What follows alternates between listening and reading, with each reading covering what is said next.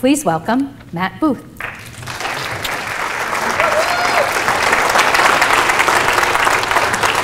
By a show of hands, how many people in here have customers or clients or members who could use an attitude adjustment? By a show of hands, how many people in here work with someone who could use an attitude, no pointing, okay? By a show of hands, how many people in here live with someone who could use an attitude? Anyone married to someone who could use? And, both hands.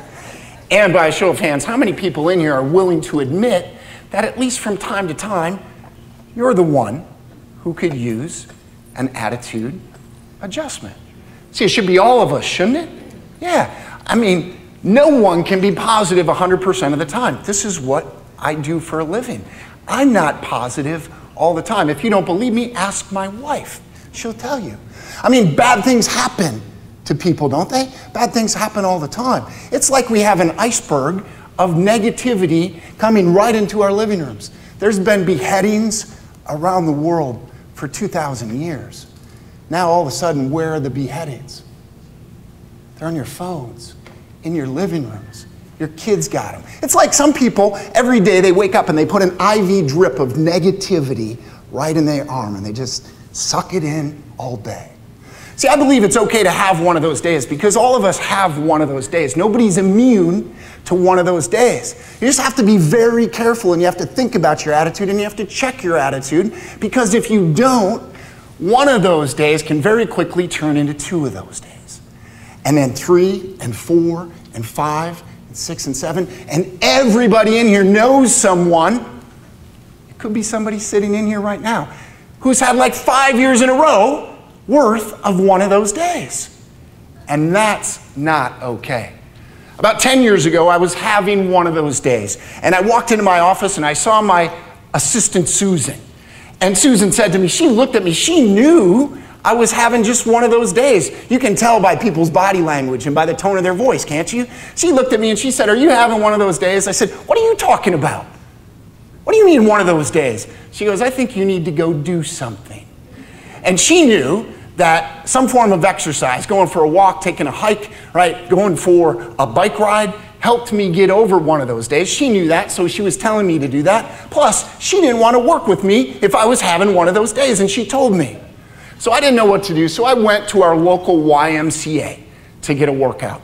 And having one of those days, I'm kind of in a feisty mood, and I walk into the YMCA, and sitting behind the desk is a gal named Teresa. She's about this tall, 55 years old, fiery red hair. And she kind of got that look on her face. And I said to Teresa, the same way we say to everybody all the time, I said, Hi, how are you? You'll never believe what just happened. Well, we all love drama, don't we? So I lean in a little closer. Teresa, what happened? She said, Four boys just ran past here with a basketball at the YMCA? And she's like, Yeah, and you know what they did with that basketball? They took the basketball to the racquetball court. Teresa, did you call anyone? I'm about to. I said, I got this. So here I run down the hall and I see those four kids at the YMCA with a basketball, right? In the racquetball court. I know, I was mad. I know. Right? Now, do you know what else those little kids did? As I peered into the racquetball court, three of them still had their outdoor shoes on and were getting scuffs all over the racquetball court. So here I am a couple minutes later, I'm chasing these four kids up and down the hall, yelling at them at the YMCA in Dubuque, Iowa, for having a basketball. That didn't look very good. I ran into a few prospects, a couple clients of mine that visit the YMCA, and it did not look very good for my business. The next day, I jumped in my car to head to a speaking event, and I popped in a CD. Some of you might have heard of this guy before. His name's Zig Ziglar. Maybe you have, I don't know. And, and on that particular CD, Zig Ziglar talked about what had just happened the day before. He said, Quit asking people uh, about you know, how are you? Because we live in a negative world. And when you ask somebody how they are, most of the time you get negative stuff, right?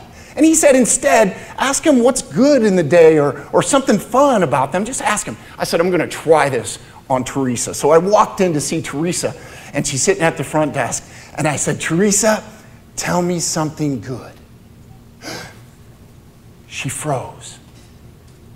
Teresa didn't have an answer for me. I don't think anyone in her whole life had ever asked her to tell her something good. She just froze. And I said, Teresa, never mind, I've got something good for you. And it cheered her up, and it cheered me up, and it cheered up the dude behind me in line because he was waiting, right? And it kind of has a boomerang effect, and it was cool. So the next time I walked in, I'm going to try it again. And I walked in and I saw Teresa. I said, Teresa, tell me something good. She goes, mm, It's sunny outside.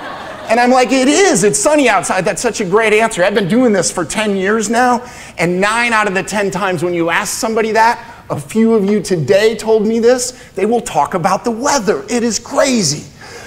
So it had a boomerang effect, right? It helps Teresa, it helps me, it helps the people in line. I think Teresa started seeing my car pull in the parking lot, right? So one day I was kind of in a hurry and I, I go in and there's three coworkers standing behind Teresa. And I run in, I'm in a hurry, and I go to the door, and she's won't, not buzzing me in. She's like, Teresa, tell me something good. She goes, My cat just had kittens. and all her coworkers are laughing by now. There's four people behind me. I'm like, That's so good. I love kittens, Teresa. They're tasty. That's uh, not true. I don't eat kittens anymore because they taste horrible. You really got to slow. Guess I'm not in Iowa anymore. Am? But do you see what a small change in your attitude and the way you communicate your attitude, it can have a big effect on your customers, your members, your clients, people you work with, people that you live with. What I want you to do right now is very quickly, I'm going to give you a minute, just turn to someone close to you and I want you to ask them to tell you something good, and you cannot talk about the weather, okay? So, real quickly, I'll give you a minute. See, this is a small change. This can be a small change in your attitude. See, and nobody wants to quit, right? This can be a small change in your attitude that can make a huge difference. I didn't make this up. Zig Ziglar didn't make this up, but it's something that you can use and you can take. That's a very small change and can make a big difference. End of May 2009, my secretary Susan passed away from cancer. And when that happens, you tend to have one of those days, right? I didn't know what to do, so I was kind of walking around a little bit, and I said, you know what? I'm going to go to the YMCA, see if I can get a workout in get over this. Help me out. And I walk in, a motivational speaker, right?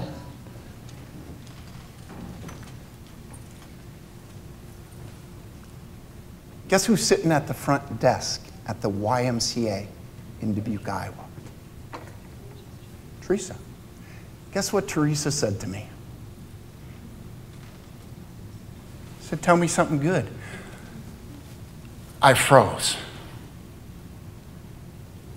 Couldn't think of one thing good. I couldn't even say it's sunny outside. And she goes, Matt, she goes, never mind.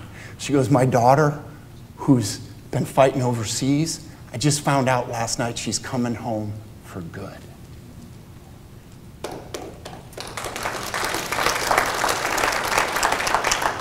See, and it's that small change in your attitude and how you communicate it can make a huge difference.